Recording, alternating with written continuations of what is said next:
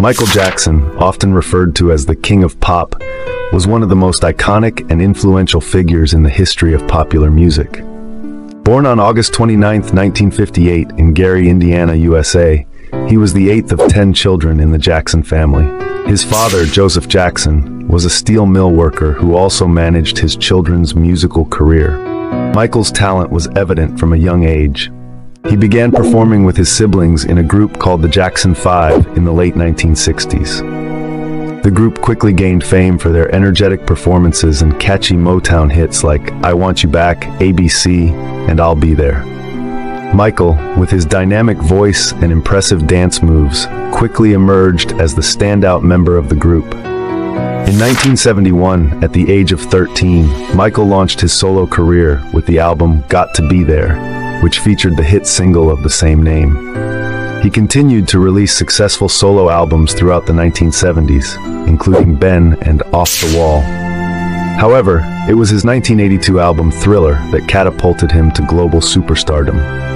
Thriller became the best-selling album of all time, with iconic tracks like Billie Jean, Beat It, and the title track Thriller. The album's groundbreaking music videos, especially for Thriller and Billie Jean, revolutionized the music industry and helped propel Jackson to unprecedented levels of fame. Throughout the 1980s, Michael Jackson dominated the music charts and became a cultural phenomenon. His unique blend of pop, R&B, and dance music along with his electrifying stage presence, made him one of the most beloved and imitated entertainers in the world.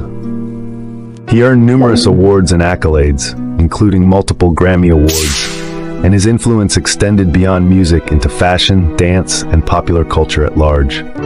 However, Jackson's personal life was marked by controversy and scrutiny. He underwent several cosmetic surgeries, which drastically altered his appearance over the years, leading to much speculation and criticism. Allegations of child sexual abuse also plagued his career, resulting in a highly publicized trial in 2005 in which he was acquitted of all charges.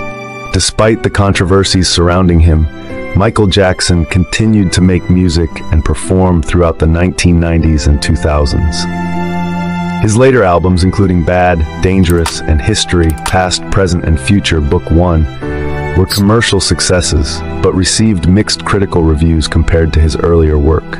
Tragically, Michael Jackson passed away on June 25, 2009, at the age of 50, due to acute propofol and benzodiazepine intoxication, leading to cardiac arrest. His death sent shockwaves around the world, and he was mourned by millions of fans globally. Despite his untimely demise, Jackson's musical legacy endures, and he is remembered as one of the greatest entertainers of all time, leaving an indelible mark on the world of music and popular culture. If you liked the video, don't forget to like, subscribe, and share.